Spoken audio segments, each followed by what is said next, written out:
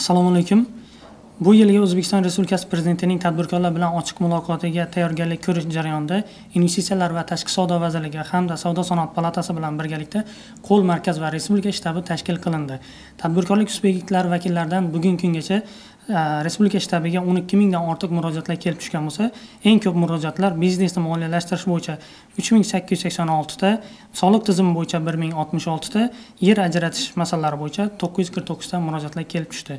Kelib tushgan murojaatlarning o'n bir ming to'rt yuz ellik ikkitasi individual xarakterga ega bo'lib ulardan to'qqiz ming yetti yuz to'qson bittasi ya'ni sakson besh foizi ijobiy hal qilindi.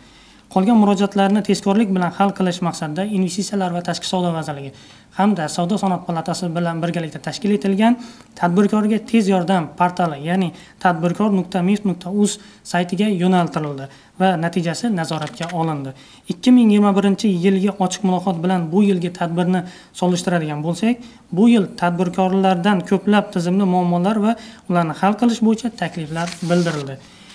Mazkur takliflar tegishli vazirlik va idoralar iqtisodchi va olimlar tomonidan o'rganilib ularni amalga oshirish bo'yicha chora tadbirlar rejasi ishlab chiqildi. Bu yilgi ochiq muloqot tadbirga tayyorgarlik mutlaqo yangicha tizim asosida olib borildi.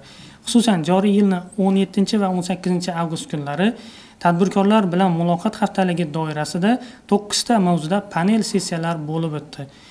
Ikki kun davomida jami uch ming besh yuzdan ortiq tadbirkorlar shundan markaziy studiyadan bir ming uch yuzga yaqin va hududiy studiyalardan ikki ming ikki yuz ellikka yaqin tadbirkorlik subyektlari ishtirok etishdi.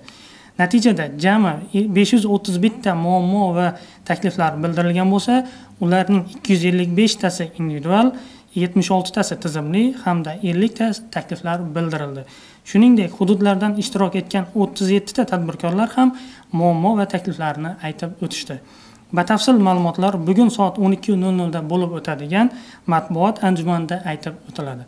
E'tiboringiz uchun rahmat.